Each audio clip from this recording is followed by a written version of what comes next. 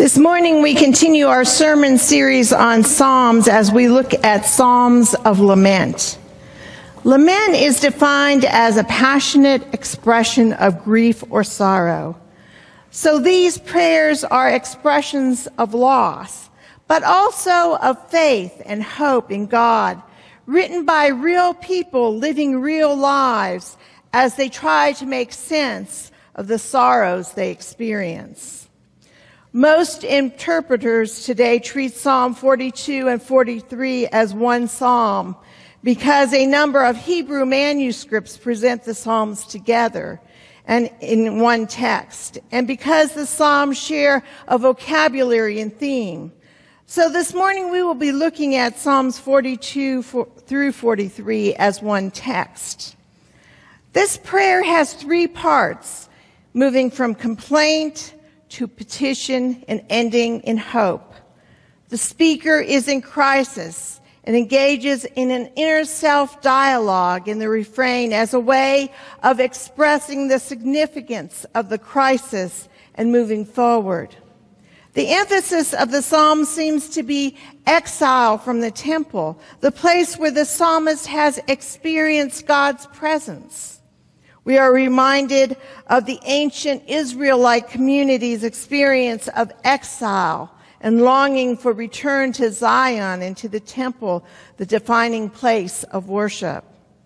So the author may be a leader of the community, voicing the prayer of this psalm in the crisis of exile. The opening stanza begins with the striking image of the deer thirsting for water where there is none. We are led to imagine a magnific- magnificent stag migrating through the tablelands of Palestine. One watering hole after another has run dry. We see the deer with parched tongue standing between the rocks, panting for water. The stag's deep and long braying of desolation expresses his utter anguish at not finding the life-giving water that every cell in his body is craving. And just as water is necessary for his life, so also is the divine presence.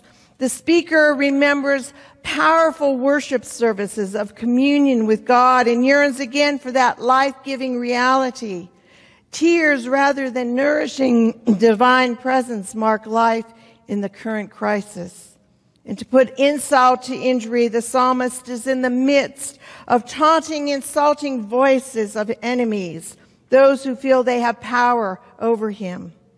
They humiliate him by pointing to his God forsaken condition, saying, Where is your God? Then the psalmist lifts the curtain from his past experience and we see who he was and what he was. He was a musician, a player of the harp, and a leader of pilgrims to the holy place.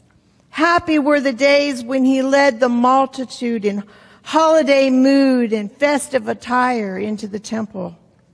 How poignant now are such memories, how they stir him to the depths of his being. Yet how different is the present mood of his spirit. In the, re- excuse me, in the refrain that is repeated again and again, we hear his agony. Why are you cast down, O my soul? And why are you disquieted within me? His whole being is depressed and despondent. The psalmist is far from the temple and he is in the constant presence of enemies who taunt him, whose heartless words crush him and crush his spirit. He stands in grave peril of his life, so much that in his vivid imagination, he seems to hear the floodwaters of the underworld, the realm of the dead, sweeping up upon him, drowning him in their power. In his distress, his great inner longing leads him to remember God. In the fear that death is imminent, the psalmist day after day and night by night prays to the Lord for help and waits expectantly for it to come. Although God seems to has, have given him over to the power of his enemies to face all day and day after day their crushing taunts. His spirit is still profoundly depressed, but the deep darkness of his soul's abandonment has been penetrated by a growing spiritual confidence. And we hear him cry out, I shall again praise him, my help and my God. He is still miles from the temple. The treachery and injustice of persistent oppression make him feel spurned by God. If only he can be brought to the place where God dwells. His longing to be in the presence of God rises to its deepest intensity. He imagines that God will send out two angels like messengers, light and truth, who come to him in his crisis and gently lead him to the temple. And now he is certain that his prayers will be heard and that he will be vindicated by God. So as in characteristic, so as in characteristic of the lament, his prayer ends not in the mood of depression, but in the bubbling up of a feeling of thanks. It is the expression of the certainty of his faith, sublime confidence that waiting for God will not be in vain. The psalmist portrays a person at prayer in the midst of simultaneous despair and hope, not unlike the experience of Jesus as he prayed to our his Father in the New Testament reading when he said to his disciples, My soul is overwhelmed with sorrow to the point of death. And he prays, My Father, if it is possible, may this cup be taken from me, yet not as I will, but as you will. And then those piercing words heard during the crucifixion when he cried out the words of Psalm 22, My God, my God, why have you forsaken me? Well, perhaps some of you remember back in 2007 when the private writings of Mother Teresa were made public. The world anticipated that you would leave behind inspiring accounts of God's intimate visitations but instead we read the anguish, anguish cries about darkness and the absence of God. The saint of Calcutta complained of this terrible sense of loss, this untold darkness, this loneliness, this continual longing for God, which gives me that pain deep down in my heart. She confessed the place of God in my soul is blank. And she protested, there is no God in me. I just hear my own heart and nothing comes. One would think that someone who has dedicated her life to Christ and to the care of others would have experienced more of a sense of God's presence. But to be quite honest with you, I find Mother Teresa's confession like the cries of God's absence in the Psalms and from Jesus and many other saintly folk, reassuring for someone who has experienced times of desolation, abandonment, and loneliness, and knows experientially the uncertainties of faith. Few persons get through life without moments or even extended periods of living life from the dark side, feeling abandoned and forsaken and insecure.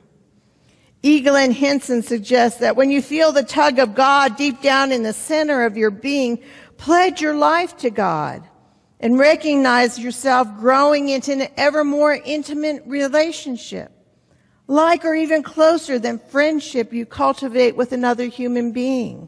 You can feel entitled to expect God to be there for you. Then comes the reality in life protracted illness, death of a loved one, job loss, financial collapse, diminishment of vital faculties, natural disaster, and a myriad of other misfortunes. And you find yourself wailing in agony. Yet you not only do not get the answer you want to an earnest plea, but you also get no answer at all. God seems to have gone AWOL. You feel like Teresa of Avila as she says, Lord, if this is the way you treat your friends, no wonder you have so few of them. This is the lament of the poet. And if we're honest, it's our lament as well in some of the seasons of our lives. Walter Brueggemann, a preacher, theologian, and seminary professor, observes, it's no wonder that the church has intuitively avoided these psalms. They lead us into dangerous acknowledgement of how life really is. They lead us into the presence of God where everything is not polite and civil. They cause us to think unthinkable thoughts and utter unutterable words. Perhaps worse, they lead us away from the comfortable religious claims of modern modernity in which everything is managed and controlled in our modern experience, but probably also in every successful and affluent culture. It is believed that enough power and knowledge can tame the terror and eliminate the darkness. But our honest experience, both personal and public, attests to the resilience of the darkness in spite of us. The remarkable thing about Israel is that they did not banish or deny the darkness from its religious enterprise. It embraces the darkness as the very stuff of new life. The very stuff of new life. That brings to mind the very first words written in the Hebrew and Christian Bible saying, In the beginning, God created the heavens and the earth. Now the earth was formless and empty. Darkness was over the face of the deep. And the Spirit of God was hovering over the waters. And God said, let there be light. And there was light. Should we not therefore live in hope that our dark night of the soul will give birth to new life? And yet our temptation is to vo- avoid, as if that were possible, or to hurry through times of lament. Reverend Dr. Stephen Breck Reid, one of my seminary professors, wrote, when you study the laments in the comfort of your home and church, take time with your own heartache and the heartaches of those in the family and neighborhood. Laments have certain characteristics one of which is tenacity. When Christmas has been over for weeks, we know how tenacious tinsel is. It's still on the floor and the doormat where we took the naked tree after the season was over. But the t- tinsel reminds one not of the joy that is Christmas, but rather the sadness of the season. Many people did not get the Christmas spirit. A dark, gloomy depression that is as tenacious as tinsel without the tree enshrouds many people during the holiday season. And in the same way, the blues, the laments, enshroud and cling to us, refusing to let go. He goes on to say of the famous blues singer, when Billie Holiday sings, Good Morning Heartache, or when the tattered tinsel is around, we should take time with our heartache. The laments charge us to do that. Often we rush too quickly to the good news and happy times. Whether we should follow Billie Holiday's point, a point echoed by the laments. Good morning, heartache. Sit down. Psalms of lament. They slow us down and invite us to stay for a while. Yet when we recognize our state of interior confusion and anxiety, often triggered by the disorientation of suffering and loss, we consider this a threat to our well-being, something to be avoided or hurried through.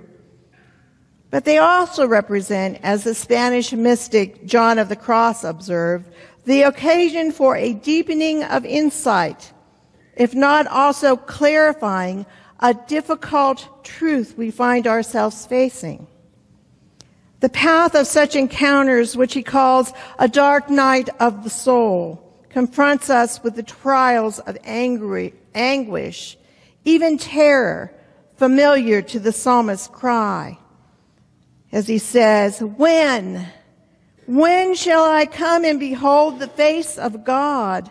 My tears have been my food day and night, while people say to me continually, where is your God? It is this when that is the difficult truth of the long night watch that carries us through the darkness. Thinking of the dark night brings to mind another question. Given the fact that God is beyond our knowing, should we not sometimes measure our faith by our sense of the absence of God as well as our sense of the presence of God? Knowing the unknowable leads us, as Thomas Kelly has said, beyond all earthborn securities and assurance and leaves our old proud self utterly defenseless. Loving the unknown, unknowable makes us willing to risk everything with no assurance of success. It's the yearning that matters. With the psalmist, we simply cry out, as the deer pants for streams of water, so my soul pants for you, my God. My soul thirsts for God, for the living God. When can I go and meet with God? My tears have been my food day and night, while people say to me all day long, where is your God? Many of us today experience seasons of crisis, and our culture suggests that we depend on ourselves for help rather than upon God. The result is isolation, fear, and hopelessness. The poet's journey, however, leads us towards hope, a hope that rests in the divine initiative. The poet yearns to be surrounded by the believing and worshiping community to participate in the worship service of the temple and to celebrate with the people the presence of God in their midst. This is not private piety or spiritual individualism. In his experience, God's help in the context of the worshiping community brings new life. This earthy prayer suggests that both despair and hope come in life and that both can lead one forward. Like Mother Teresa or Job, Jesus, and other saints that you may have known, you have to have experienced the presence of God, God's Shekinah, in order to miss it. You won't miss someone with whom you've never experienced closeness, a closeness so deep that you could scarcely stand separation. This psalm moves beyond a private mourning to hope found in the worshiping community that God has created. The psalm is an important word of good news in our culture of anxiety, isolation, and despair. Life is dependent upon God just as life is dependent upon water. Augustine said of God, the thought of you, O God, stirs us so deeply that we cannot be content unless we praise you because you make us for yourself and our hearts find no peace until they rest in you. The Psalms are powerful prayers that passionately and emotionally express the realities of our lives and our relationships with God and one another. So sit down, slow down, spend some time with these prayers. In doing so, may you experience peace and new life as you read, study, and pray these words. Amen.